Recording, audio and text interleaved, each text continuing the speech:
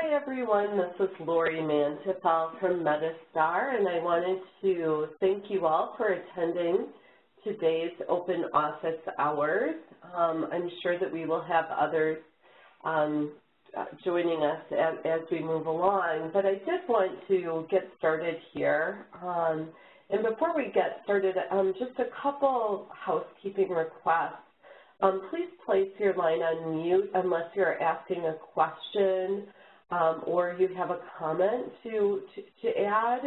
Um, I am going to try to keep um, the lines open um, for as much of the call as we can because we'd like this to be as interactive as possible. Also, feel free to use the chat feature to ask questions or, or to make comments as well. Um, the goal here is really to have a very interactive um, office hours. Um, and today I am joined by Janelle Safian um, from the Wisconsin Medicaid eHealth program, and she is also here um, ready to take questions and, uh, you know, um, provide some information as well. So welcome everyone. And once again, if you are not speaking, um, please go ahead and mute your line just to keep background noise to a minimum.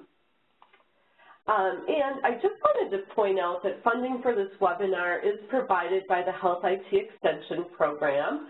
Um, on this slide, I do have some additional information um, around our program, Metastar, subsidized through the Wisconsin Department of Health Services, is able to provide grant-funded services around health IT. Um, if you're not currently participating in our program, please consider joining. Um, just reach out to myself or to Metastar. We spend most of our time um, providing one-on-one -on -one assistance to healthcare organizations um, throughout the state of Wisconsin, primarily small organizations. And when your organization is participating in the program, um, we're able to design one-on-one -on -one assistance specifically to meet you wherever you are on your health IT journey we're happy to help share best practices, provide security risk assessment, assist implementing workflows. We are not um, really experts on any one EHR. However, we are very knowledgeable about many EHRs, and, and we are um, vendor neutral. So um, we're able to answer questions and, and, probably get you in touch with others around the state who are who are using um, the same EHR that you have as well. Um, and who is Metastar? Um, for those of you who are not familiar with us, Metastar is the quality improvement organization for the state of Wisconsin. And in addition to our work um, in the Medicaid Health IT Extension Program, we're also able to um, provide assistance for the quality payment program, at least in the world of health IT, I should say. Some of the other work that we do um, in addition to the Medicaid Promoting Interoperability Program, we're also able to provide um, assistance for the quality payment program, including MIPS, um, here in the state of Wisconsin, specifically, once again, for small, um, rural, underserved um, providers here in the state.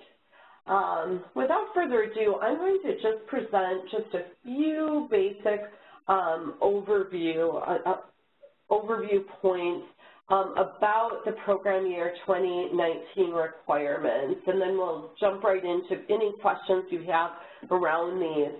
Um, stage three is required in program year 20, 2019 and beyond, um, and um, because of that, EPs are required to have 2015 edition certified EHR technology in place for the full 90-day EHR reporting period, and that is at a minimum.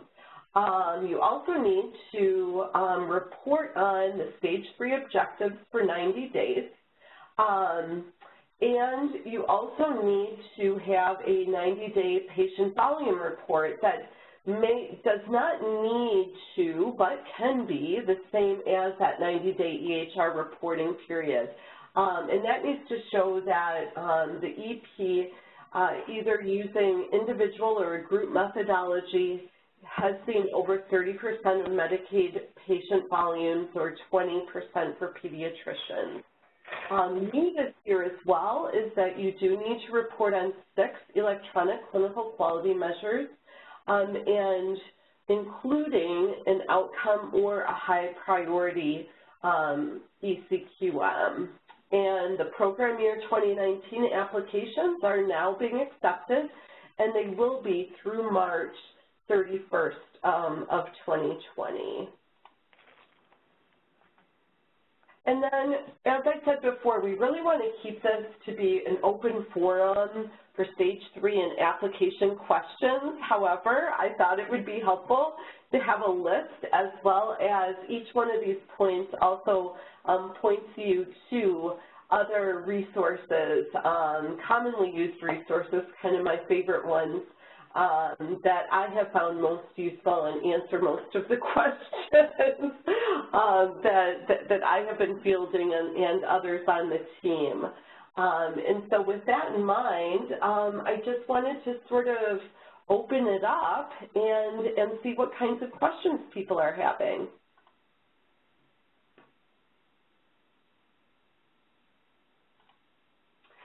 And Janelle, while we're waiting um, for people to sort of think about what questions they may have um, or experiences that they'd like to share with everyone, um, I just think that I'd bring you in and just ask you a little bit about the portal and, and what do you what has really changed from previous years, just so that people know what to expect.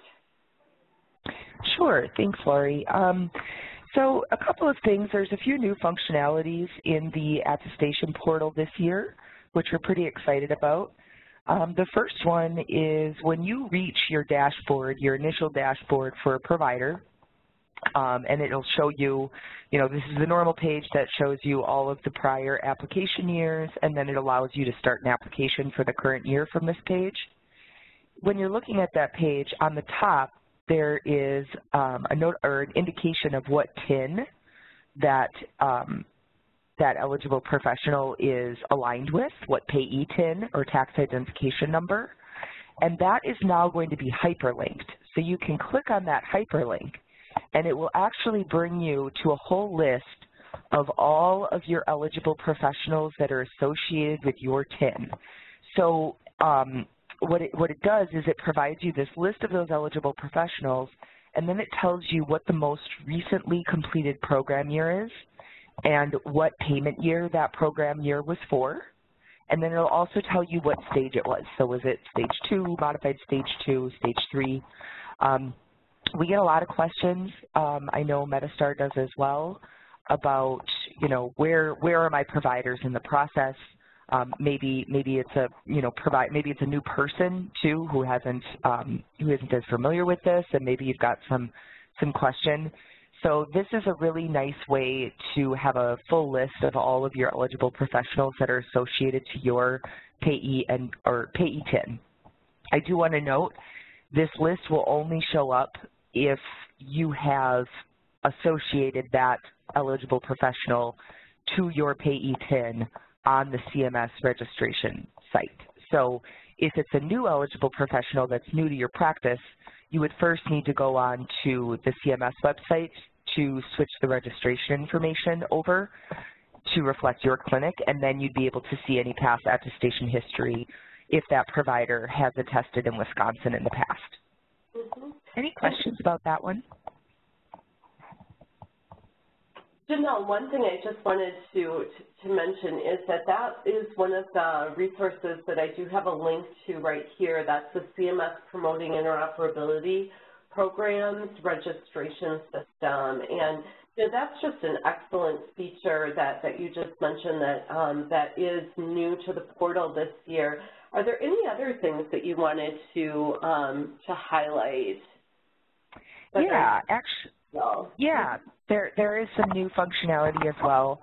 Um, when you are entering in your meaningful use measures, um, historically you would have to go in measure by measure and you'd sort of go into a screen and then you would exit out of the screen, go into a screen, exit out of a screen.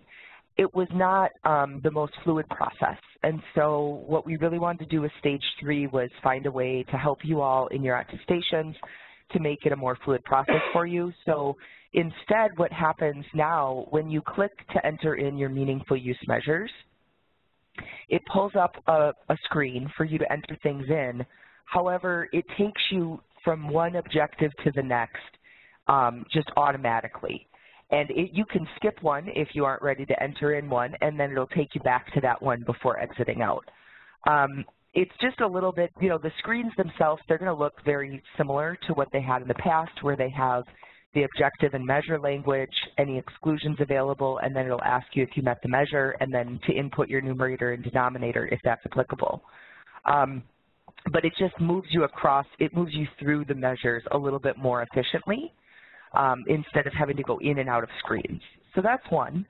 Um, the other thing is that for the meaningful, or excuse me, for the electronic clinical quality measures, um, there's that same mechanism that I just spoke of where you would select what measures you want and then it'll kind of take you through um, in a little bit more of a, a fluid fashion. Um, but the other thing I want to mention is Lori had noted that this year providers do have to submit one outcome or otherwise high priority electronic clinical quality measure um, in a, you know, as a part of their total of six ECQMs. So for the, for the screen for that, um, the system is set up so it has all of the outcome measures in one box at the top. You can choose what outcome measures um, you want to attest to. If there are none there, then it has another box that has all of the high priority measures. Again, you can choose one or more of theirs, um, and then it has all of the rest of the measures in another box. So it makes it a little bit easier for you to figure out, you know, have I met that one, have I met this requirement by CMS that I'm attesting to one outcome or high priority measure because they're all neatly in separate boxes for you to see that. Mm -hmm. Janelle, this is Lori, and I just did want to mention that, um, you know, when I was attesting with a provider, that that's one of the things that we really found useful. And for those of you who, you know, I, I remember when we got there, it's like, oh my gosh, which ones are those um, right offhand? And just for everyone who um, is on the call, I, um, I, I do have that link opened here. And as Mel said, those um, those high priority and outcome measures really neatly the moment that you go into the, um, the clinical quality measures screen, it opens those up first. Um, and these are a list, most of them are, are commonly reported. Um, I'll be honest, we haven't had, I haven't personally run into any um, clinics that weren't able to find at least one, if not more, of these that they that they were able to report on. Um, and so, you know, this once again is, is is the list of those, and it is nice that it does um, sort of highlight those. However, all of the rest of the CQMs are right below that as well. So um, in many cases, you, you'd be reporting on one or more um, of these high priority ones, but then others um, you can select as well. Did anyone on the call have any questions or or comments um, around the portal, or was there anything else, Janelle, that you wanted to highlight? I don't think I had anything else to highlight at this time about the portal. Okay. Did anyone on the call have a question or want to jump in? Um, Kevin, was there anything in the chat that we wanted to move to next? Hi, Lori. There's nothing in the chat at this time. Okay. You know, Janelle, um, while, while we're here, you know, one of the things that I know I receive an awful lot of questions, and I, as well as others on the team do, is around documentation requirements um, and making sure that you're uploading the correct documentation um, to, to the portal. Um, you know, one of the things that I just wanted to point out to everyone is that on your um, on the DHS website, um, it does really list out, and there's um, I've actually made it into a checklist for myself um, just to make sure that um, you all of your documentation requires has all of the elements required so that, you know, it, so that you are able to submit correctly and, and, and you're not getting a lot of questions later on. Um, Janelle, was there anything in particular that you wanted to, to highlight here? Um, sure.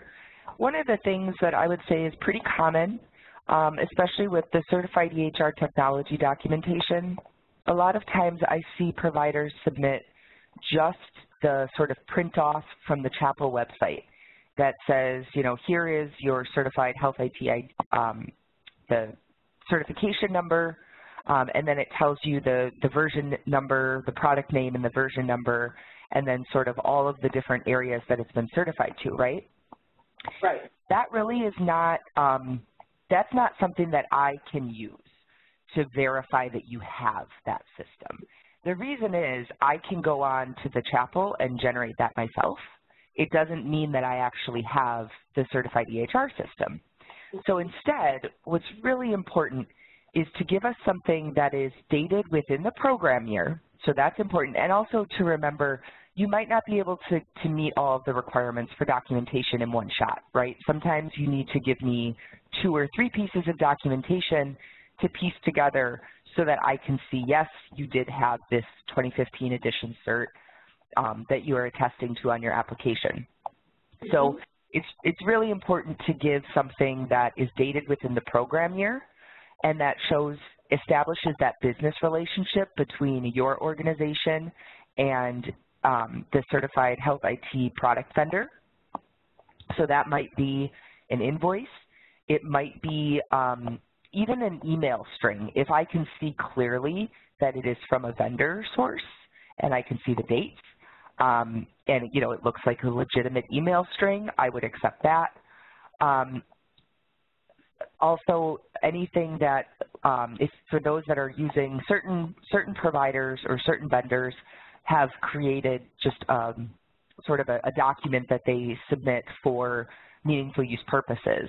And so this might be a letter from your vendor um, where they've signed it, they've dated it, they've said, yep, this is the organization, um, they are using this product name and version number.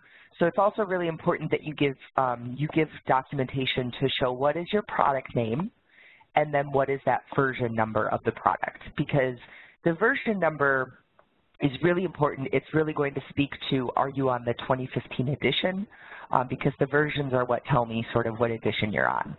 Um, so I'd say those are the main things. If you are thinking that you're going to just upload the CHPL page, please do reconsider and look for other documentation to give me because otherwise you will be getting a phone call uh, from a member of my team to submit additional documentation and that's just going to slow down your payment. So if you can get that on the front end, that would be great. Janelle, those are um, a number of really good points. Just a couple of things that I wanted to um, mention as well as things that I've seen in the field. Um, I think that your point around um, that many times it might be a couple of different pieces of information. Um, so maybe your contract may not may have the vendor name, but not the product um, version number and, and things like that. And so it is good to sort of double check your documentation to make sure that you have all of it.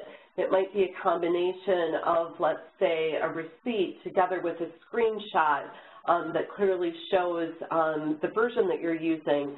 Another thing, speaking of the CHPL website, is that don't assume that the number that you used last year that you generated on the CHPL website is necessarily the same one that you'd be using this year. Um, many times due to version changes and other changes, it's always good to go to the CHPL website just to make sure that you do have the most recent um, CHPL ID as well. Mm -hmm. um, you know, another area that I wanted to highlight is around the patient um, volume documentation requirements. Um, this is a question that we get um, very often. The other thing is, is that many times in our one-on-one -on -one TA, we'll actually um, work with clinics to make sure that they have this information. Um, there's two ways to report patient volume, and that is either by individual eligible professionals, um, or by group. Um, and the documentation is similar um, between the two. Um, and some of the ones that I, some of the things that I wanted to really highlight is the fact that it's important to have the, the date of service for um, each of the encounters, um, a unique patient identifier, which um, can be um, a patient name, a patient Medicaid ID, um, it can be some other type of patient identifier, but Janelle, correct me if I'm wrong, if it is an, a Medicaid um, patient, the Medicaid ID does need to be somewhere so that you can verify the, that this is indeed a Medicaid um, enrolled member, correct? Yes, if it is um, if it is a Medicaid encounter, we do need to see either the patient name or the Medicaid ID. I will always okay. prefer to see Medicaid ID because it's very simple then for me to match it up in my system. Um, but if mm-hmm. there's a situation where that is not possible, then we will accept patient name. Mm-hmm. Um, but we cannot accept like an internal medical record number for a Medicaid patient encounter because I cannot verify that then. So I would need to see either the patient name or the Medicaid ID for all encounters that are attributed to Medicaid. The other alternative. mm -hmm, go ahead. oh, I was just going to say if you know, some organizations um, feel very strongly about not submitting patient names for non-Medicaid members or non-Medicaid encounters, I should say. In those cases, you may use an internal medical record number um, for for those patients um, rather than their patient name. Um, those are for the non-Medicaid encounters. That's good point. You know, as we're talking about patient volume as well, um, it's important to remember that unless you're a federal, federally qualified health center or an FQHC, you um, or a rural health center, you you are required to um, make sure to use the standard deduction, which for this year is 4.11 um, percent. Um, and so I know that that's something that I need to always remind myself as well as many time clinics um, just to make sure that that is done so that you're accurately um, reporting patient volume as well. Um, did anyone have any other questions or comments around um, patient volume documentation or anything else?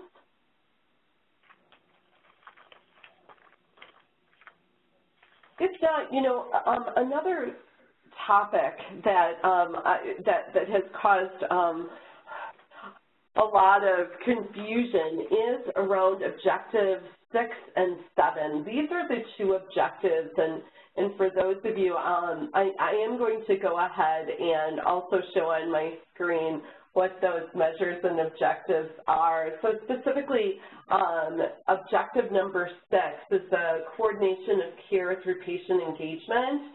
And this one, you must attest to all three measures.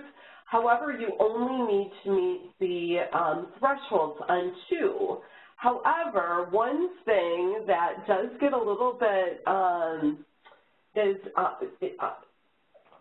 a little bit of, of, a question is around the exclusion. And the way that you report on these or the way you know that you've met the objective is very similar to public health. So meeting the exclusion does not mean that you've met the measure. Um, and for objective um, seven in particular, I know that um, because this one is a bit different than it has been in the past, um, that that is particularly important. And so think of it more in terms of how you would attest to public health, where an exclusion does not mean that you've met the measure. It just means that you need to either meet or exclude for the other measures. Janelle, did you have any tips around these two objectives or anything that you've noticed as, as people are attesting? Um, I mean, I think you did a pretty good job explaining um, explaining this one. I would just say, you know, when when we're thinking about it, it's either I have to meet two of them, Mhm. or I have to meet what I can and exclude from everything else. So That's uh, that's, that's kind of the way that I think about this one. Um, and if you can't meet any of them, then the only way to satisfy it is if you are able to exclude from all three of them. Mhm. Um, if you are not able to exclude from all three of them and you're not able to meet at least two, then unfortunately you wouldn't meet the requirements for meaningful use for this year. Mm. And I know meeting uh, meaningful use or stage three is the objectives this year. Um, you know, there, there are some changes and some differences, some nuances in the um, objectives. So I did want to just open it up for any questions that people have or um, around the objectives or, or, or anything else that, that has kind of tripped you up. I know a lot of EHR vendors, unfortunately, didn't give real clear workflow guidance until late in the year. Um, and, and so I know that this has been challenging um, for many. So were there any questions or any comments that anyone on the line has? Oh, hi, Lori. It's Gail. Hi, Gail. Hi. So, you know, the what, what which I don't know which one it is for sure, but which objective requires us to do the patient education? Mm-hmm. Which one Right. is that? Let me see here. That one is, just bear with me. I'm just going to, to, to, to bring that one up. Um, mm, mm, mm, what is your question around it while, while Well, I'm yeah, so our I'm that? doctors, like, we looked at Oh. that, and they didn't really feel like that would be the literature that they would share with their patients about a particular type of visit. And Mhm. so they were uncomfortable, like saying, okay, well, here's the literature that we're sending you electronically because that's what we're told to do, but that's not what we would have given them as Mhm. a guidance or as additional information. Mhm. So we don't necessarily agree with that viewpoint. And so, like, then we feel like, should we, like, why do we have to, you know, we know why we have to, but it feels like there should be an alternative to that because, do you know what I mean? Do you see what I'm saying? Yeah. Yeah, yeah, yes, and um, Gail, your providers are not alone. I think here's here's a few different things just to consider, sort of steps that that, that I'd recommend is, um, you know, see if there, um, see if there's if your EHR allows any kind of um, customization to what is allowed. Um, some of them are more flexible than others. So if you haven't already done so, that would be sort of step one, is see if um, whatever the doctor does like to use or the provider does like to use, um, see if that is something that, that you can add to the EHR or, um, or, or add to that so, so that it is something that, that can be provided not only in print but also electronically because that is what um, that objective requires is that electronic sharing. Right, Um, right. So you don't necessarily have to use what they have as the prescribed electronic um, literature. Well, here, um, it, it does need to be, um, it needs to come from or sort of be recommended by or, or, or within the EHR. Um, however, many EHRs do allow some customization around that. okay, so you just have um, to find that out. Okay, mhm. I'll I'll check that out with Greenwood. Yeah, so, so that would be plan A. I will say plan B, let's just say that what you find, um, which is the case in some EHRs, that, that uh, customization either is very expensive or it's not really available, then the piece that I would really look at is see what is available. A, a lot of the EHRs, and see if there's anything that, that would be commonly used. Like, for example, um, I worked with a clinic where the providers really didn't like what was available around specific um, conditions or, you know, specific diagnoses, but they were um, they were in agreement, like the the um, material that was available around the medications um, they did feel was was useful um, and they were okay with. And so um, in that particular clinic, what they did was they provided education around the medications, and with that, we're able to meet that threshold as well. Oh, so you're saying you don't have to do it for all visits; you can just do it for certain types of situations and as sort long meet as the you threshold. meet threshold, as long as you meet the threshold. And, you know, so if, if you are going to sort of pick and choose, um, I would really make sure that, you know, with whatever it is you're choosing, you're able to meet the threshold.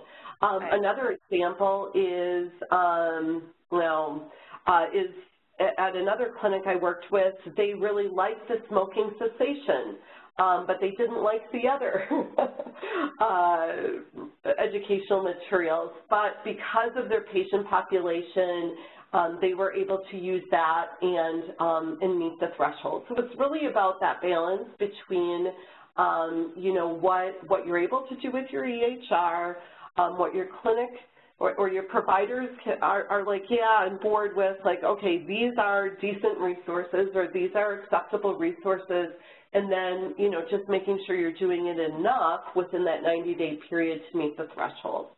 Does that make sense? Yep, thank you. Mm -hmm. You're welcome. Great question. Did anyone else have any other questions?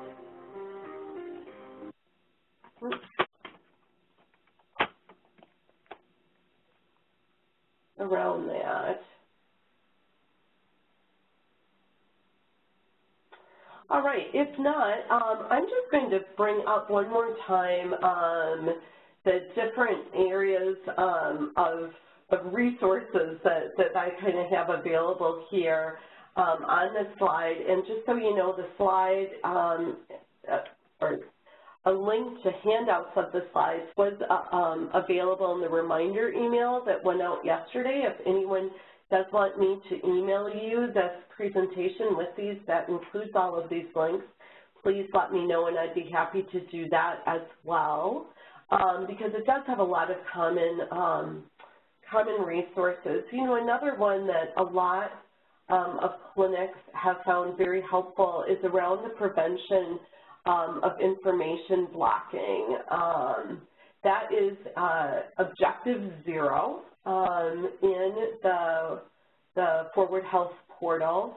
Um, and MetaStar on, the, on our website has put together a tip sheet on what actions are required um, and sort of um, a little bit of a guide around, you know, which you need to respond yes to to um, successfully demonstrate promoting interoperability. So I just wanted to highlight that resource as well. Did anyone else on the line have any questions or comments?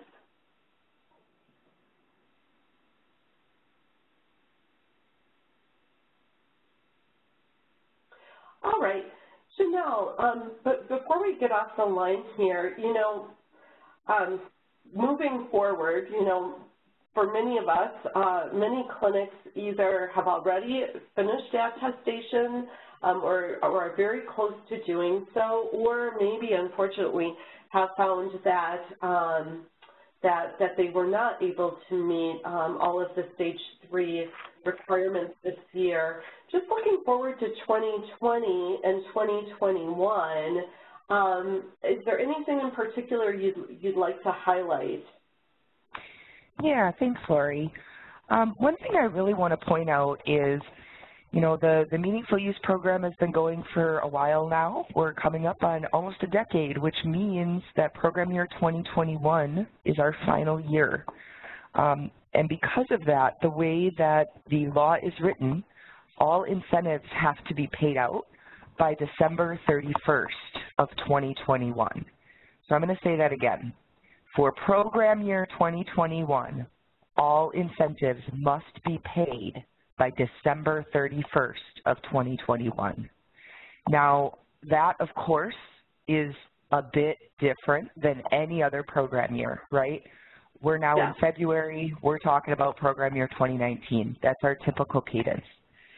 So program years 2020 and 2021, you will see some changes in what the cadence is for attestation and for selecting your um, selecting your 90-day periods.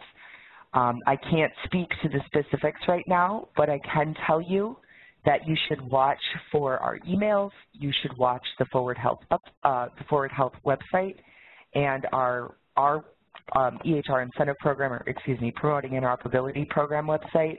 Um, we do expect to publish our policies on both years in the second quarter of this year. So somewhere between April and the end of June, you should see policies for both program years 2020 and 2021.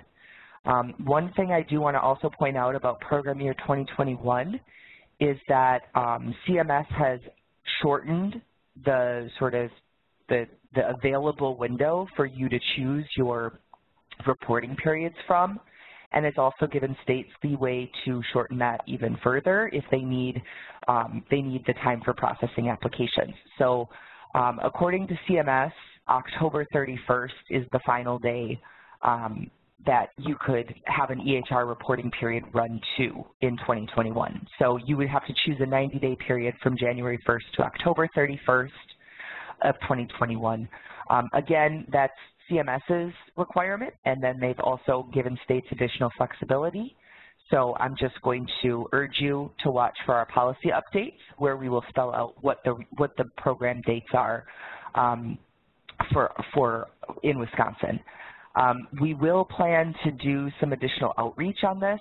So, you know, you might be getting more emails than you're used to, or you might be getting some phone calls. Um, uh, I'm sorry, I didn't catch that question. Okay, maybe that wasn't really a question. um, so yeah, I just wanted to point out that, you know, they'll, they'll sort of be expedited um, you know, in, especially in program year 2021.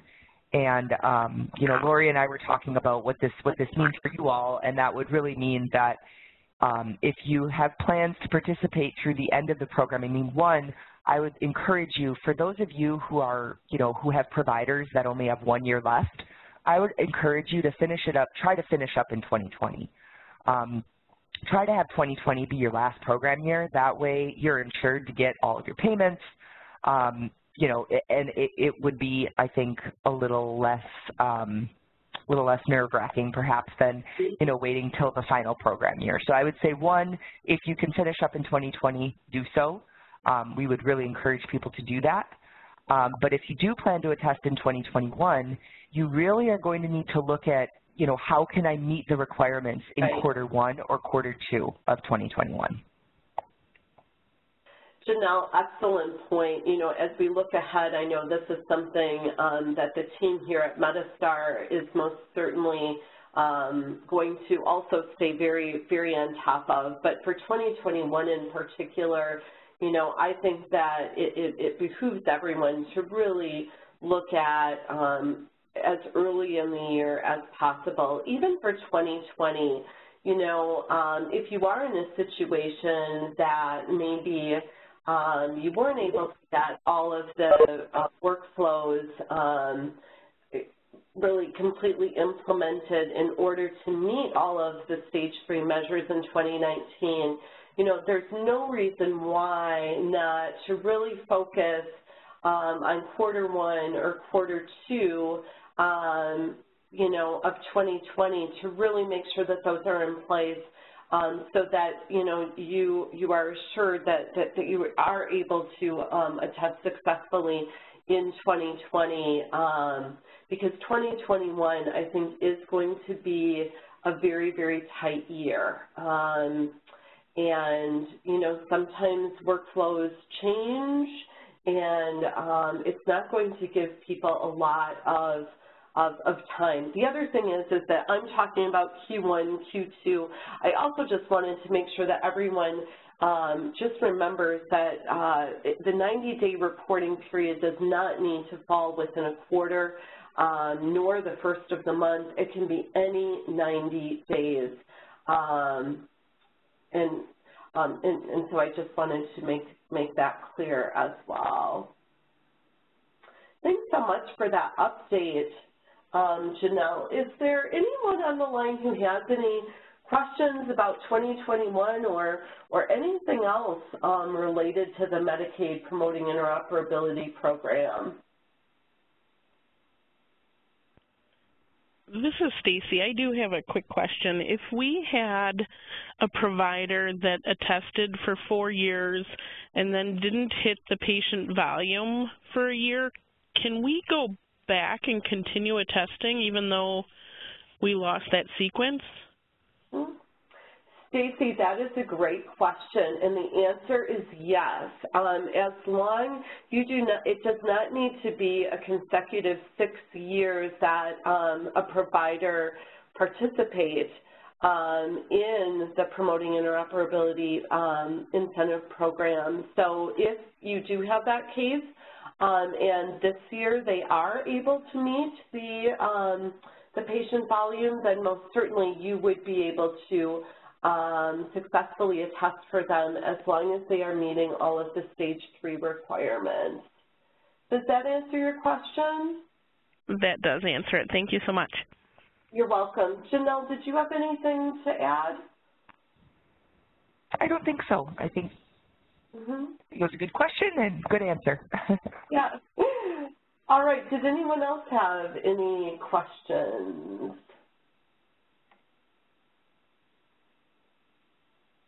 You know, I did just want to point out one other thing that, one other question or one other topic here, um, and that is public health reporting. There has been, um, in stage three, there has been a little bit of, of a change.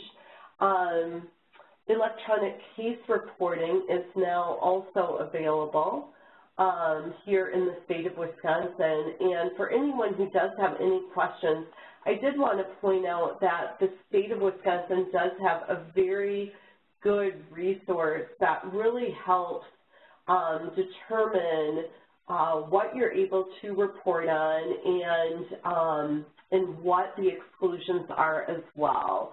Um, and this really has become my uh, go-to guide um, on all things um, regarding um, public health reporting. Um, and specifically the electronic case reporting um, is measure number, that's the public health registry reporting, cancer data, and then also the electronic, um, the clinical data reporting as well. So I just wanted to um, highlight that, um, that that resource. Did anyone have any questions, or Janelle, did you have any other comments around around that? Um, I guess the only thing I would say for the um, for the clinical data registry reporting measure, I have received a question about sort of what standards are required for use. Um, and I would I would refer people to the CMS specification sheet. Um, at the at the bottom of the specification sheet, there's an additional information section, and they they explicitly talk about this question. Um, basically, there there does have to be some standards used. Um, what it what they do is they say it has to be some standards that are that are stated at um, a specific spot in the regulation. So um, it has to be some sort of standardized document that's uh, or document format, um, whether that might be a CCD um, or it might be um, uh, um, like a QRDA file. I mean, there, there's, there's a variety of files that have a specified standard out there. So there's not just a single standard that must be used for the clinical data registry reporting, but it does need to be in some sort of standard. It can't be um, just a proprietary type standard. So I would just refer people to the CMS specification sheet on that. Um, and, you know, I can work, you know, with Lori to provide further details if, if you guys want to push out information about that at all. Um, you know, you do have to get onto the, like, ECFR, the um, uh, the federal regulation website and kind of kind of get through there, but um, you know, but they do they do very clearly indicate which portions um, of that federal reg need to be referred to. So we can certainly provide additional information on that, but I did just want to mention that there is some, some level of standard is required, um, but there's flexibility in what that standard is. Absolutely, and I just wanted to point out to everyone that, as Janelle mentioned, it is right at the bottom of that of that spec sheet. Probably from a practical standpoint, I think the first place I would go is to your EHR vendor um, to to understand um, that portion of it, but reach out to us and, and we'd be happy to sort of um, help field any questions sort of along that line as well as um, with the Wisconsin, you know, on the Wisconsin side, for example, with the Wisconsin Immunization Registry, we do have a staff member right there that is, is able to help with, with these kinds of questions and concerns. Very good. Were there, before we sign off here, are there any other questions or any other comments um, from anyone on the line? Okay. If not, first I just wanted to say thank you to everyone um, for joining us today, and I also wanted to say thank you so much, Janelle, for providing your insight and, and providing information and answering questions as well. Have yeah, you're welcome. Happy to help. Great day, and I also just wanted to point out that here is our contact information as well. If you do think of anything that we didn't cover, please feel free to reach out to us. Very good. Have a great day.